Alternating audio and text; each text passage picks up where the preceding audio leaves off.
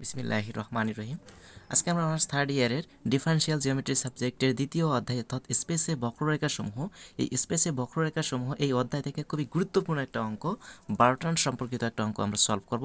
সেই অঙ্কটা হচ্ছে যে দেখাও যে বারোটান কার্ভ দ্বয়ের প্রতিসঙ্গী বিন্দুতে স্পর্শক দ্বয়ের মধ্যবর্তী কোণ ধ্রুবক, যেটা ন্যাশনাল ইউনিভার্সিটির বিশ সাল, তেরো, এগারো, বারো, সাত সালে আসছে।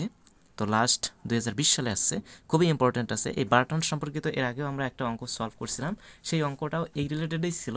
ওখানে আমরা, আমাদের দেখাতে হচ্ছে হয়েছে যে বার্টান কার্ভদ্বয়ের প্রতিসঙ্গী বিন্দুদ্বয়ের মধ্যবর্তী দ্রুত ধ্রুবক। আর এখানে আমাদের বার্টান কার্ভদ্বয়ের প্রতিসঙ্গী বিন্দুতে স্পর্শক দ্বয়ের মধ্যবর্তী দ্রুত এখানে স্পর্শকের কথা বলা আছে বাট আগের অঙ্কটাতে আমাদের স্পর্শকের কথা বলা ছিল না। তো এখানে স্পর্শক দ্বয় যে আমাদের আছে, সেই স্পর্শক দ্বয়ের মধ্যবর্তী কোণটা আমাদের ধ্রুবক প্রমাণ করতে হবে। তো প্রতিসঙ্গী বিন্দুতে আমরা জানছি, এর আগে আমরা পি পি ওয়ান ধরে নিছিলাম।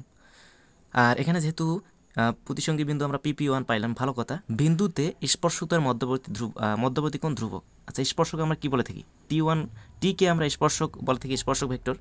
টিটা হচ্ছে স্পর্শক এনটা হচ্ছে অবিলম্ব ভেক্টর, আর বিটা হচ্ছে আমাদের দ্বি অবিলম্ব ভেক্টর। তো আমাদের শুধু এই টি ভেক্টর বা টি স্পর্শক ভেক্টর, এই স্পর্শক ভেক্টরটা নিয়ে আমাদের এখানে কাজ করতে হবে। তো প্রথমে আমরা ধরে নিব দুইটা বার্ট্রান্ট যে সি ও সি ওয়ান বার্ট্রান্ট বক্রদয়, বক্ররেখার প্রতিসঙ্গী বিন্দু হচ্ছে পি আর পি ওয়ান অর্থাৎ সি এর জন্য পি আর সি ওয়ানের জন্য হচ্ছে পি ওয়ান এবং অঙ্কিত স্পর্শকদ্বয়ের মধ্যবর্তী কোণ আমরা ধরে নিব আলফা। তো আমরা একটা প্রশ্ন থেকে লিখে নিলাম যে ধরি সি ও সি ওয়ান বার্টান বক্ররেখার প্রতিসঙ্গী বিন্দু পি ও পি ওয়ানের অঙ্কিত স্পর্শক দ্বয়ের স্পর্শক দ্বয়ের মধ্যবর্তী কোণ আলফা ধরে নিলাম। তাহলে এখন আমরা লিখতে পারি যে এখন স্পর্শক ভেক্টর যেহেতু কথা বলছে, স্পর্শক স্পর্শক দ্বয়ের মধ্যবর্তী কোণ, তার মানে এখানে স্পর্শক কটা আছে? দুইটা আছে। তার মানে একটা আমরা স্পর্শক ধরলাম টি ভেক্টর আর একটা ধরলাম আমরা টি ওয়ান ভেক্টর। আচ্ছা স্পর্শক দ্বয়ের মধ্যবর্তী কোণ আমাদের আলফা আলফা যেহেতু ধরে নিয়েছি, তার মানে স্পর্শক কোণ দ্বয়ের বা স্পর্শক দ্বয়ের মধ্যবর্তী কোন আলফা যেহেতু ধরে নিয়েছি, আর আমরা কোন বের করার সময় অবশ্যই আমরা ডট গুণনের সূত্র ইউজ করে থাকি, যেটা আমরা ইন্টারমিডিয়েটে করে এসেছিলাম ওকে তাহলে দুইটা স্পর্শক আমি ধরে নিলাম, যেহেতু স্পর্শক দ্বয়ের কথা বলছে, তার মানে টি আর একটা টি ওয়ান এই দুইটার মধ্যবর্তী কোন হবে আলফা। তো যেহেতু আমরা মধ্যবর্তী কোণ বের করার চেষ্টা করতেছি, সেক্ষেত্রে আমাদের ডট গুণন করব। তাহলে টি আর টি ওয়ানের ডট গুণন ইকুয়াল আমরা লিখতে পারব modulus t vector dot modulus t one vector into cos alpha, যেহেতু মধ্যবর্তী কোণ আলফা। ওকে, বা এখানে আমরা লিখতে পারি যে টি টি ওয়ান ভেক্টর, অবশ্যই এগুলো ভেক্টর চিহ্ন দিতে হবে, কেননা স্পর্শক ভেক্টর যেহেতু। আচ্ছা এটাই হলো আমরা কি লিখতে পারব? এখানে মডুলাস আছে, দুইটার ভিতরে আলাদাভাবে মডুলাস আছে। অর্থাৎ আমরা এইভাবে আমরা কাজ করছিলাম এর আগের অঙ্কগুলোতে যে টি ভেক্টরে যদি মডুলাস থাকে, তাহলে ওই ভেক্টরকে ওই ভেক্টরের সাথে ডট গুণন বোঝে। আচ্ছা ওই ভেক্টরকে ওই ভেক্টরের সাথে ডট গুণন মানে হচ্ছে তার মান ওয়ান একইভাবে তাহলে টি ওয়ান ভেক্টরের মডুলাস হলে টি ওয়ান ভেক্টরকে টি ওয়ান ভেক্টরের সাথে ডট গুণন বোঝায়। তার মানে ওটার মানও হচ্ছে ওয়ান তার মানে এটার মানও ওয়ান এটার মানও ওয়ান ওয়ান আর ওয়ান গুণ করলে ওয়ান ওয়ানের সাথে কোয়াস আলফা গুণ করলে আমাদের সিঙ্গেল আমরা পাবো কোয়াস আলফা ওকে এতটুকু আশা করি বুঝতে পারছি। এটাকে আমরা এক নম্বর সমীকরণ দেবো আমাদের সুবিধার্থে। ওকে এর আগে আমরা যে এক নম্বর সমীকরণটা পাইছিলাম, সেটা পেজ উল্টানোর কারণে আমরা এখানে লিখে নিলাম। এরপরে আমরা এখানে কাজ করব যে এখানে এটাকে আমরা এখন ডিফারেন্সিয়েট করব এসের সাপেক্ষে। এখন প্রশ্ন আসতে পারে যে কেন আমরা এসের সাপেক্ষে ডিফারেন্সিয়েট করব? তো এখানে এসের সাপেক্ষে ডিফারেন্সিয়েট যদি করি, করার পর আমরা টি আর টি ওয়ান এদিকে আমাদের যদি জিরো নিয়ে আসতে পারি ডিফারেন্সিয়েট করে এদিকে যদি আমরা জিরো মান নিয়ে আসতে পারি, তাহলে d d of s d d s t t ওয়ানের ডট গুণন ইকুয়াল আমার যদি জিরো আসে, তাহলে ওইটাকে আমরা যদি সমাকলন করে দিই, তাহলে অবভিয়াসলি এই টি টি টি আর টি ওয়ানের ডট গুণনের মান আমাদের একটা ধ্রুবক আসবে। তো ওটাই তো আমাদের প্রমাণ করতে বলছে যে ওইটা ধ্রুবক আসা মানে হচ্ছে আমাদের কসলফা এর মান হবে ধ্রুবক। তো আমরা সেই কাজটাই এখানে করব। তো উভয় পাশে আমরা ডিফারেন্সিয়েট করব। এস এর সাপেক্ষে, তো d d s t vector dot t vector t one vector এর ডিফারেন্সিয়েট ইকুয়ালস টু এ পাশে আমরা যদি কস আলফা এর ডিফারেন্সিয়েট করি তাহলে আমাদের কী আসবে? আচ্ছা আমাদের এখানে ডিফারেন্সিয়েট করছি কোনটাকে? টি আর টি ওয়ান ভেক্টরকে আচ্ছা টি আর টি ওয়ান ভেক্টরকে যদি আমরা ডিফারেন্সিয়েট করি, তাহলে এখানে আমরা কী পাইতেছি? এদিকে কিন্তু আমরা করতেছি না ডান পক্ষে।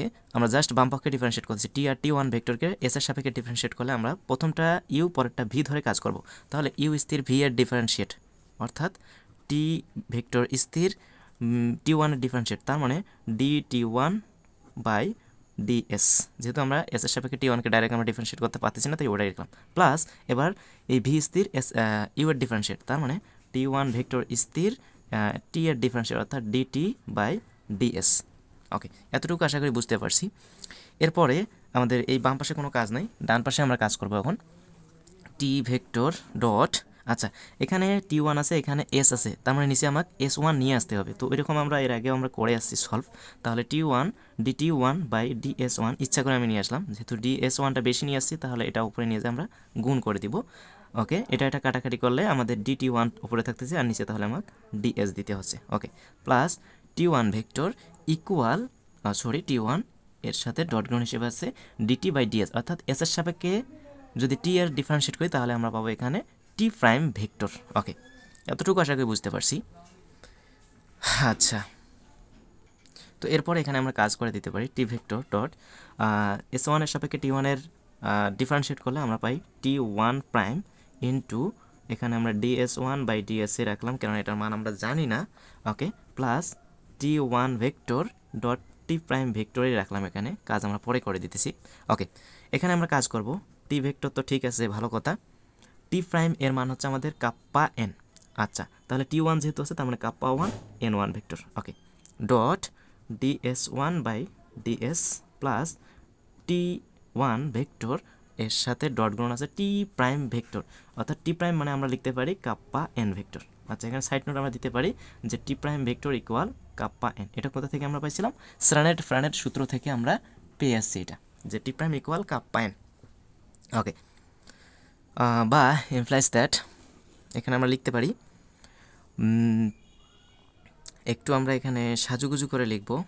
আচ্ছা t vector dot kappa one n one vector আচ্ছা এখানে এন ওয়ান ভেক্টর আছে এন ওয়ান রাখলাম ডট এসের সাথে এখানে আমাদের এটার সাথে ডিএস ওয়ান বাই ডিএসটা গুণ অবস্থায় আছে plus t one vector into kappa আচ্ছা এন ভেক্টর আর এন ওয়ান ভেক্টর একই।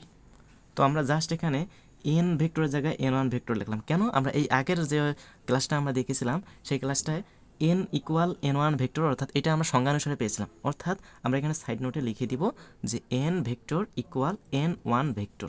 Okay তার মানে এন ভেক্টর ইকুয়াল যদি এন ওয়ান ভেক্টর হয়, তাহলে এন ভেক্টরের পরিবর্তে আমি এন ওয়ান ভেক্টর লিখতে পারব। কেন আমি এটা করলাম?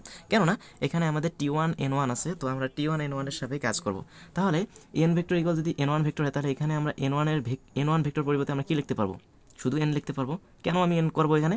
টি টি যেহেতু আছে, এখানে টি ওয়ান যদি থাকতো তাহলে এন ওয়ানে আমি রাখতাম। যেহেতু টি আছে সিঙ্গেল তাহলে এন ভেক্টর আমি করব। ওকে আশা করি এতটুকু বুঝতে পারছি। এরপরে আমরা এখানে কাজ করব। টি ভেক্টর আর এটা তো কাপ্পা আমরা জানি ধ্রুবক। কাপ্পা ওয়ান ধ্রুবক, ভালো কথা, টি ভেক্টর আর এন ভেক্টর। আচ্ছা t vector dot n vector, এর মান কত আসবে? একই ভেক্টরের ডট গুণন ওয়ান আসে আর বিপরীত ধরনের ভেক্টরের ডট গুণনের মান অল টাইম জিরো আসে। তাহলে এটার মান যদি জিরো হয়, তাহলে সম্পূর্ণটা জিরোর সাথে গুণ করলে জিরো প্লাস টি এর সাথে টি ওয়ানের সাথে এন ওয়ানের ভেক্টরের ডট গুণন। T one vector dot n one vector এই দুটো ডট গুণন করলে কী হবে? এখানেও সেম কন্ডিশন বিপরীত ধর্মী ভেক্টরের ডট গুণনের মান হবে কত? জিরো ওকে তাহলে এটার মানও আমাদের জিরো আসতেছে। তাহলে দুইটা জিরো যোগ করলে আমরা সেই জিরোই পাবো। আশা করি এতটুকু বুঝতে পারছি। তাহলে আমরা এখানে কি পাইলাম? D d s of t t one ভেক্টরের ডট গুণনের মান আমরা পাইলাম জিরো ওকে তাহলে সেটাই আমি করে নিলাম যে অতএব d d s of t vector dot t one vector এর মান আমরা পেলাম কত? জিরো ওকে এখন আমরা উভয় পাশে, এই সমীকরণের উভয় পাশে আমরা সমাকলন করব। তো সমাকলন করলে ইন্টিগ্রেশন আর ডি ডিএস চলে যাবে। তাহলে এখানে থাকবে কি? T vector dot t one vector equals to zero এর সমাকলন করলে আমরা কি পাবো? ধ্রুবক। আমরা অল টাইম জানি যে জিরো এ জিরোকে ইন্টিগ্রেশন করলে আমরা অল টাইম একটা ধ্রুবক পাই। এখানে আমরা লিখব যে সমাকলন করে পাই। সমাকলন করে। ওকে সমাকলন করে। তো এটাকে আমরা হিসাবের সুবিধাতে দুই নম্বর সমীকরণ দিলাম। ওকে? টি টি ওয়ান ইকুয়াল ধ্রুবক, এটাকে আমাদের হিসাবের সুবিধাতে দুই নম্বর সমীকরণ ধরলাম। আর এর আগে আমরা এক নম্বর সমীকরণটা পেয়েছিলাম। এক নম্বর সমীকরণটাকে আমি একটু সাইডে দেখাচ্ছি। আমার এক এক নম্বর সমীকরণ ছিল টি ভেক্টর আর টি ওয়ান ভেক্টর এর ডট গ্রহণ ইকুয়াল ছিল আমাদের কস আলফা এটা আমাদের ছিল এক নম্বর সমীকরণ। আচ্ছা এক নম্বর সমীকরণ আর দুই নম্বর সমীকরণ যদি আমরা তুলনা করে পাই, তাহলে আমরা এখানে লিখতে পারি এক ও দুই হতে। এক ও দুই হতে পাই। আচ্ছা এক আর দুই হতে আমরা কি পাই? সেটা আমরা একটু যদি লক্ষ্য করি। এখানে টি টি ওয়ানের ডট গ্রহণ ইকুয়াল ধ্রুবক আর এখানে t t one equal cos alpha তার মানে এর বাম পক্ষ, এর বাম পক্ষ সেম আছে, তাহলে ডান পক্ষ ইকুয়াল ডান পক্ষ আমরা লিখতে পারব অবভিয়াসলি তাহলে অতএব আমরা লিখতে পারি যে কস আলফা ইকুয়াল কী হবে? ধ্রুবক। ওকে যদি কস আলফা ইকুয়াল ধ্রুবক হয়, তাহলে আমরা অবশ্যই এখানে বলতে পারি আলফা ইকুয়ালও ধ্রুবক। আলফা এর মানটাও হবে ধ্রুবক। অর্থাৎ কস আলফা যদি ডিরেক্টলি ধ্রুবক আসে, তাহলে এখানে আলফা যে কোনটা আসবে, সেই কোনটা অবভিয়াসলি একটা ধ্রুবক কোণে আসবে। তো এটাই আমাকে প্রমাণ করতে বলছিল। যে প্রমাণ করতে বলছিল আমাদের কি?